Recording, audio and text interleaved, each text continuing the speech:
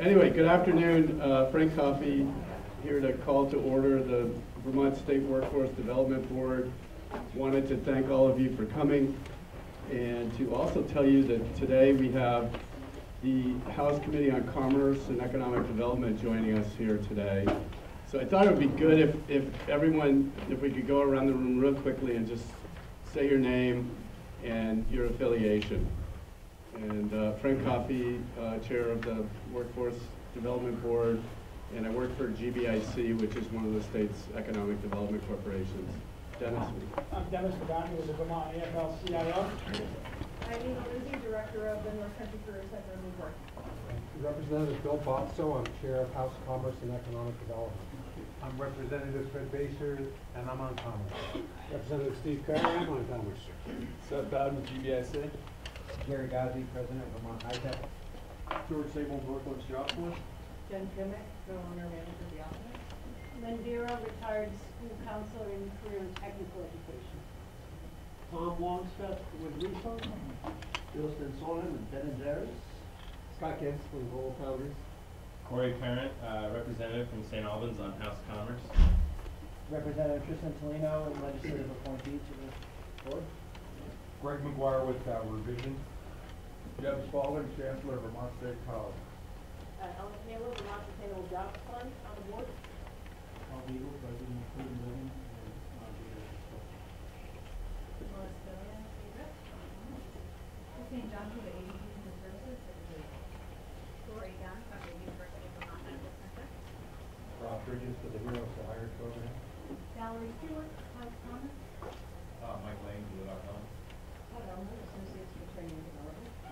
acabou.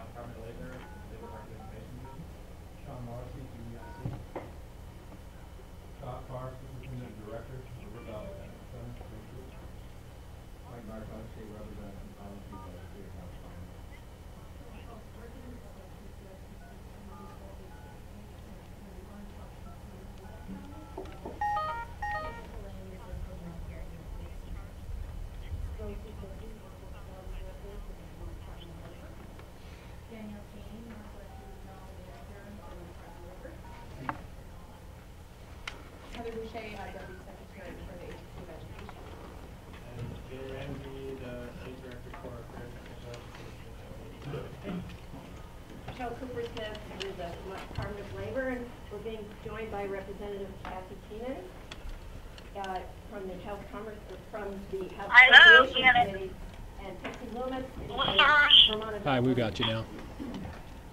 And we have uh, members on the phone, I believe, as well. You know who's on? No, that just got connected. Okay. Um, let me pull this over there. Um, Can, can you tell us who's on the phone? This is Melissa Hirsch. Uh, Melissa Janet Hirsch. Bombardier. Janet Bombardier. Melissa's with Champlain College. Uh, Janet is with GlobalFoundries. And Judy Geiger from Killington. Judy Geiger from Killington? Huh? Okay, great, thank you. Sorry about that. Uh, once again, we do have Wi-Fi. It's the Montpelier Elks Club, and the password is Exalted Ruler. Um, So, the first few meetings that we had, I could look in your eyes and see too much bureaucracy. We're not, you know, we're sitting here, you've given up your time, several hours of your time to come. We had to get through that. A lot of the, the federal regulatory things that we have to deal with require that. Um, But you joined this board to do something, and, uh, and we want to do something. So, uh, one, one of the greatest needs in Vermont right now is, uh, greatest challenges we're having is demographic issues. And any of the employers that are here will be first to tell you that um, with an aging population, aging workforce, we've got to get more creative on uh, how we're going to build a qualified workforce for the future. So we really started looking at uh, career and technical education, knowing that the Agency of Education, the Agency of Commerce and Community Development, and the Department of Labor had been working on a report on Act 51, which focuses on career and technical education.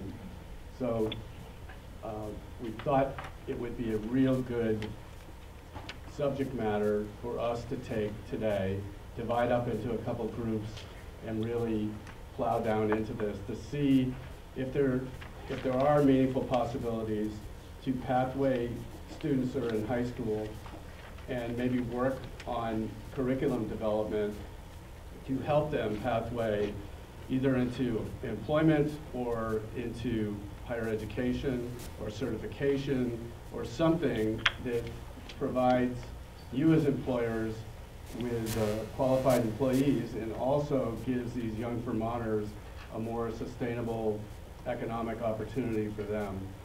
I just, I look at the statistics and forty percent of our high school students are not going on to anything immediately upon graduation. And just, you know, roughly, I didn't look into the statistics in our office, we just broke down the number of students that are in uh, K through 12 in Vermont, and we estimate that that number is like 2,600 Vermonters. And then if you take into consideration that we lose another 500 of them in the next year because they don't succeed or, or they, they want to take a break, um, these tend to be the Vermonters that stay here. And they're, they're living in their parents' homes or, or wherever. And so we thought we really, really need to better understand career and technical education. So we've asked Deputy Secretary of Education Heather Bouchey to join us here today. This report on Act 51 on career and technical education, I thought I knew something about career and technical education. This really provided a good foundation to understand how we do career and technical education today, how it's governed and how it's paid for, um, and who's participating, how many students are participating. Um, the report, you can be the judge of if you think the report goes far enough, fast enough. Um, that'll be for all of us to determine, but uh, the report is really, really well done. And we thought we'd start out today with, with Heather giving you an overview of the report. So Heather, thank you.